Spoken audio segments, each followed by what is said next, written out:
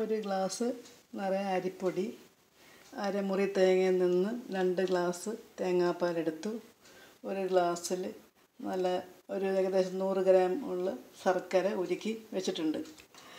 ഇത്തിരി നെയ്യ് എടുത്തിട്ട് ഞാൻ കശുവണ്ടി വറുത്ത് വെച്ചിട്ടുണ്ട്. അരിപ്പൊടി ഒരു നോൺ സ്റ്റിക്ക് പാനിലേക്ക് ഞാൻ ഇട്ട് ഈ നെയ്യ് ഒഴിക്കാൻ പോവുകയാണ് അതിന്റെ കൂട്ടത്തിൽ. നെയ്യ് ഒഴിച്ച് തേങ്ങാപ്പാൽ ചേർക്കുക. തേങ്ങാപ്പാൽ. ശർക്കര പാനിയും ചേർക്കുകയാണ് എല്ലാം ഒന്ന് നല്ലോണം കലക്കി മിക്സ് ചെയ്തെടുക്കാം.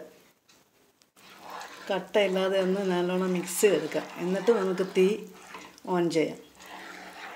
ഒരു നുള്ളു ഉപ്പും ചേർത്ത് കൊടുക്കാം. ഇനി ഗ്യാസ് ഒന്ന് കത്തിക്കാൻ പോവാണേ. പതുക്കെ പതുക്കെ ഒന്ന് കട്ട പിടിക്കാതെ അധികം ഫ്ലെയിം ഒത്തിരി പൊക്കി വയ്ക്കാതെ ഒന്ന് ഇളക്കി കൊടുത്തുകൊണ്ടിരിക്കാം നന്നായി ഇളക്കിക്കൊണ്ടിരിക്കണം.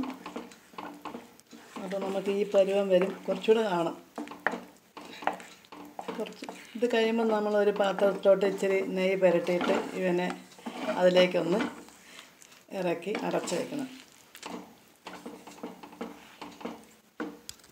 കശുവണ്ടി ചേർക്കാം.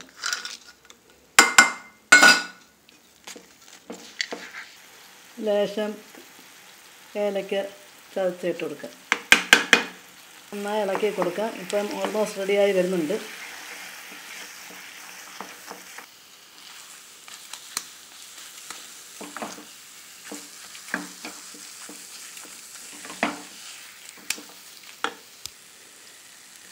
അപ്പം റെഡി ആയിട്ടുണ്ട്.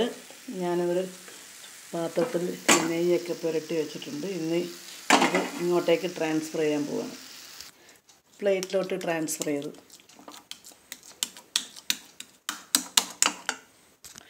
പെട്ട പെട്ടെന്ന് ഉണ്ടാക്കാവുന്ന ഒരു ഈവനിങ് സ്നാക്ക് റെസിപ്പിയാണ് ചായയുടെ. ചായക്ക് ഒരു ഇത് ഞാൻ ശരിക്കും ടൈം എടുത്തത് പതിനഞ്ച് മിനിറ്റ് എടുത്തോളൂ. പക്ഷേ അതിന് മുന്നേ ഞാൻ മറ്റേ ഇൻഗ്രീഡിയൻസ് ഒക്കെ റെഡിയാക്കി വെച്ചിട്ടുണ്ടായിരുന്നു. വളരെ കുറച്ച് മാവല്ലേ ഉള്ളൂ. അപ്പം ഇത് റെഡി ഫ്രണ്ട്സ് ഈ അപ്പം ഞാനിനി ഇത് കൂൾ ചെയ്യാനായിട്ട് വെക്കുകയാണ്.